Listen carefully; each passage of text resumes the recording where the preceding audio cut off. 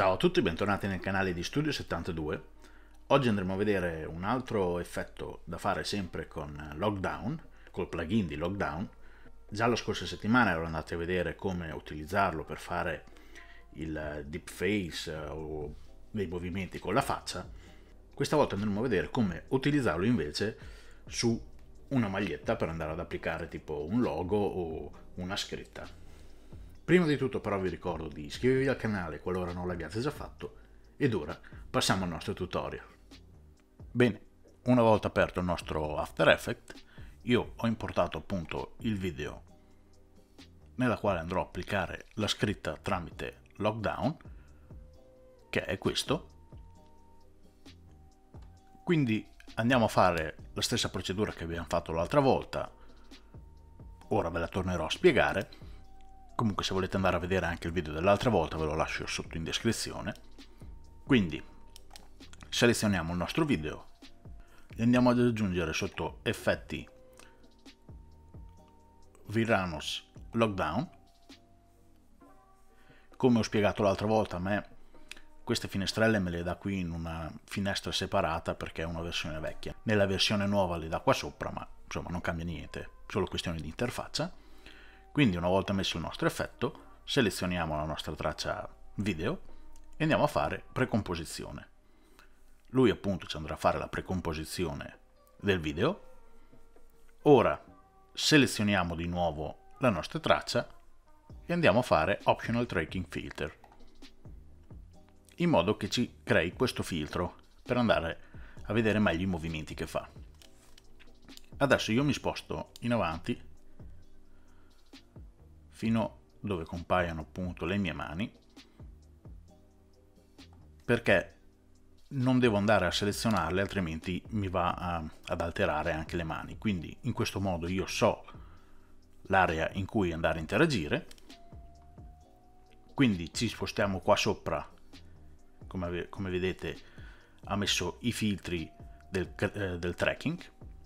Quindi andiamo giù selezioniamo lockdown poi, come detto anche l'altra volta, con Command o Control se avete Windows tenete premuto sulla tastiera, se andiamo a fare dei clic col mouse, come vedete ci crea questi pallini. Io nel mio caso voglio andare a fare una sezione rettangolare, per farlo semplicemente teniamo sempre premuto Command o Control, clicchiamo col mouse se noi andiamo a disegnare un rettangolo,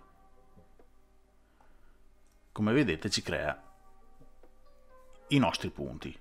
Volendo possiamo andare ad aggiungere di più, quindi io ne vado ad aggiungere in mezzo degli altri, sempre tenendo premuto Command o Control. Andiamo a aggiungere altri punti.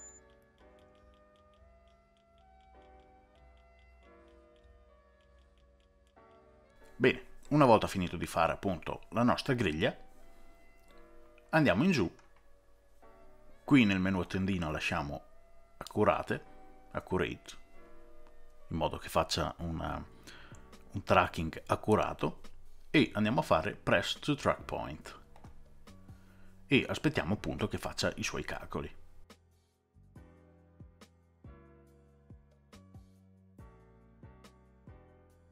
Bene, una volta finito appunto di fare la sua analisi, come vedete i punti da quadrati sono diventati tondi, vuol dire che ha fatto il suo tracking. Ora andiamo nel punto 6, andiamo a fare Auto Triangulate Mesh.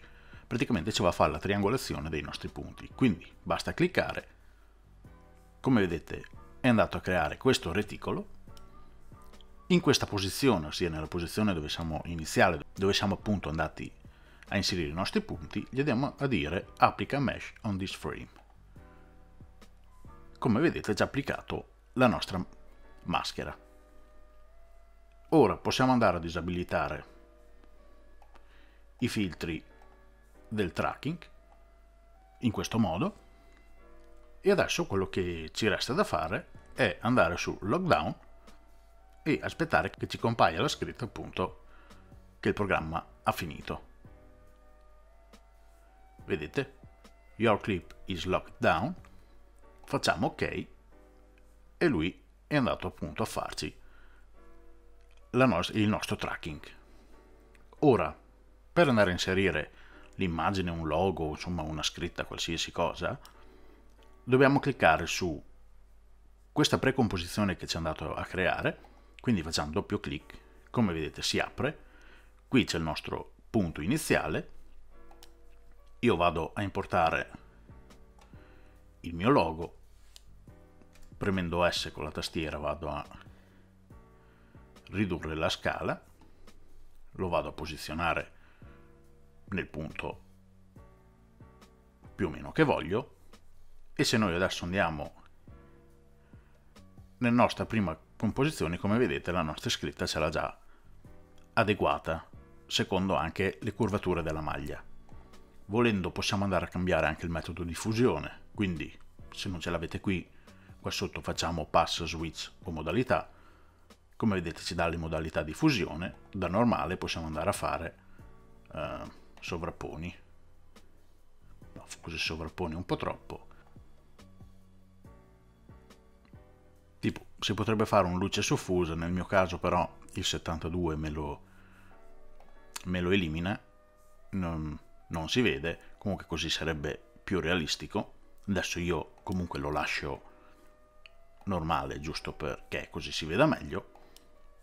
E se noi adesso andiamo a vedere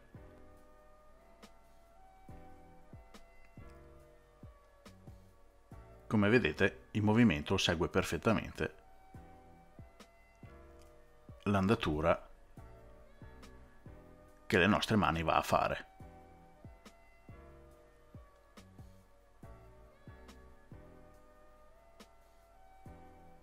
In questo modo.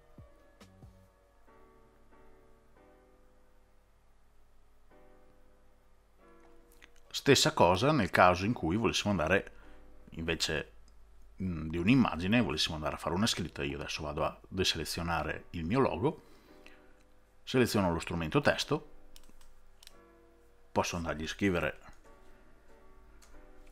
tipo prova, vado ad aumentare leggermente il font,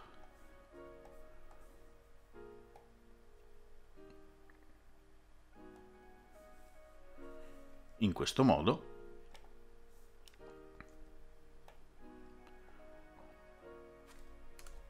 andiamo a disattivare il maiuscolo altrimenti non ci fa spostare.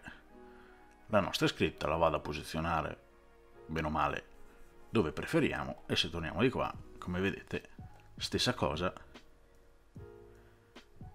La nostra scritta seguirà perfettamente il movimento della nostra maglia.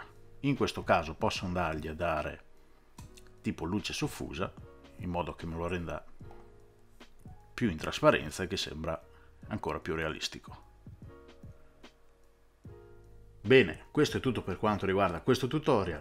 Io vi ringrazio di avermi seguito, vi rinnovo l'invito di iscrivervi al canale qualora non l'abbiate già fatto, lasciate un like al video se vi è piaciuto, commentate per qualsiasi cosa se avete domande o curiosità, visitate il mio sito www.studio-72.net e noi ci vediamo al prossimo tutorial.